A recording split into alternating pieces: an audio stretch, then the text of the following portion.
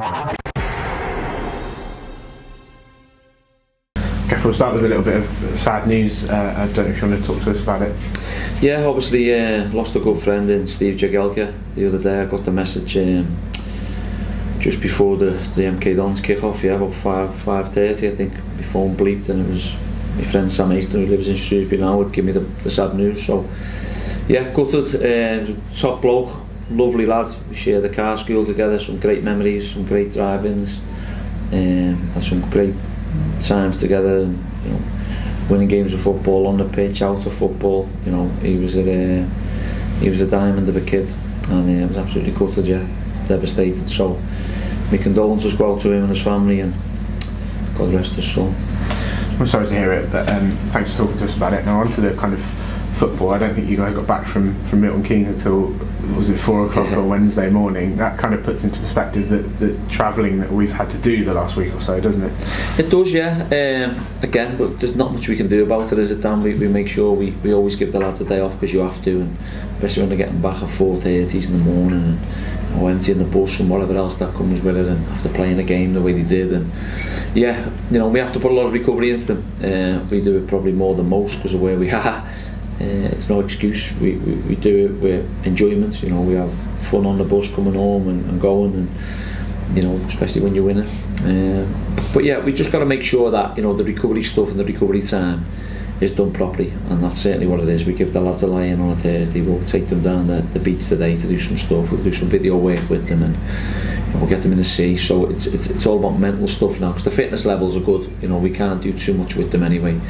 It's all about putting stuff into the head for the, for the game Saturday against Bristol Rovers. So, yeah, um, it's a long jo- a long slog at times of where we've got to go and how we've got to get back, but it's part and parcel of football. I was going to ask you about that kind of re- recovery and so on. Given where we're at in the season and, and, and the workloads they've had to go through, you kind of you, you're just working on what you've already drilled into them earlier in the season now, aren't you? There's not Yeah. lots of time if you wanted to change something. You don't have a lot of ground time to do that now, anyway, do you? No, we don't, and there's not much to change really. You know, we don't we don't change what we do. Our methods are the same. Our message is the same. You know, we, we, we want them to do what we ask them to do, and you know, they all know the, the way we play. They all know the style. They all know what's expected. Um, so that doesn't change really. So I think you know over the last week or so we've been putting work into them and it's all mental stuff and on the video stuff and, and on the coach paint which we use quite regularly now and you know and, again the messages of, of, of what we do um, so the recovery is the most important at the moment just to get make sure they've got recovery in them and they're fresh for the weekend because the food intake the, the, the you know the drinks intake everything about it has got to be spot on and, and John Lucas make sure that's right Do you see a little bit of a kind of light at the end of the tunnel in terms of the fixture congestion? We've played Saturday, Tuesday for God knows how many weeks Yeah. now. We play at home on Saturday, which must be a boost in itself. And then there's a week before your next game. and then we travel away again. Yeah, Yeah. it's um, we, we haven't. Yeah, we're supposed to normally be two two away games, two home games in it. We seem like we've been away for a while. We've played Um, four of the last five away, I think. yeah, and they're always tough, aren't they? Going away from home's tough. Uh, you know, we've we've been decent at home, and we want to continue that. Um, but in terms of, you know, we'll have a week next week to work with the players. But again, even that, you know, you've got to keep the freshness with them. So, you know, we've got to make sure we look after them in the right way.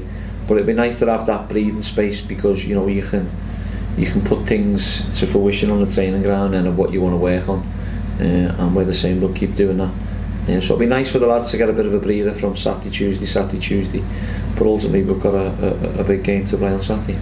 Spoke a lot about uh, on- Tuesday about the kind of the spirit and the togetherness and how you saw the desire and the players showed you clearly that what it meant to them on Tuesday. Just a little bit hard done by in the end. Is is the message just to kind of get back out there, go again? Yeah. It, it'll turn. Yeah, of course. We, we, we know that. We've been in these situations before. And again, if it was lack of performances, I'd understand, but it's not. It's lack of results at the moment that's costing us. Uh, creating chances. Yeah, we'd like to keep the back door shut more. But in terms of how we go about our business, the same. Um, and, and as you know, when you keep doing the right things, it, it always comes good. Whether that's a little bit of luck we might have needed on Tuesday night, but the referee not giving a penalty, and if he doesn't give that, we get a point. And but what we've got to do is got to keep believing what we're doing. We have to stick together, do the right things. We've got ten games to play, um, and you know I'm sure we'll win. A lot of them games I'm open. Um, you know, we've got to turn this bad run of results into, into a good run of results of winning games, and that's certainly the aim. That, but you know, when I see the lads coming off the pitch disappointed on on Tuesday, and, and there was a lot of um, disappointment in there, not because of the performance, not because of the goals conceded. It was more because of a decision that was made that cost them a point.